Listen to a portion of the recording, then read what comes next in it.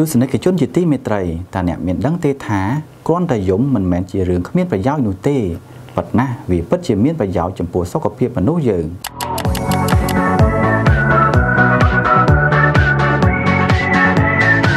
អ្នកត្រូវការយំដ៏ល្អមួយដែរទេ យើងដឹងហើយថាការយំមានទំនាក់ទំនងអវិជ្ជមានជាច្រើនប៉ុន្តែតាមការស្រាវជ្រាវបាននិយាយថាវាពិតជាល្អចំពោះមនុស្សទៅវិញទេ ក្នុងវីដេអូមួយនេះខ្ញុំនឹងបង្ហាញអំពីហេតុផលខ្លះៗដែលអ្នកគួរតែបន្តយំថែមទៀតបើសិនជាចង់1បំបត្តិ stress ទឹកភ្នែកពិតជាអាចជួយបំបត្តិ stress បាន នេះដោយសារតែទឹកភ្នែកកើតចេញពីអារម្មណ៍ដែលមានតួនាទីជួយបំបត្តិ stress ហូម៉ូននៅក្នុងរាងកាយការយំដ៏ល្អមួយត្រូវបានគេស្គាល់ថាជួយឲ្យមនុស្សមានអារម្មណ៍ល្អ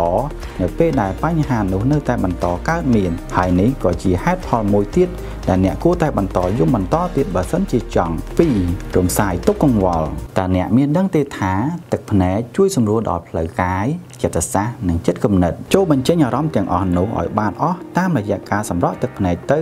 អ្នកនឹងមានឱកាសកាន់តែល្អ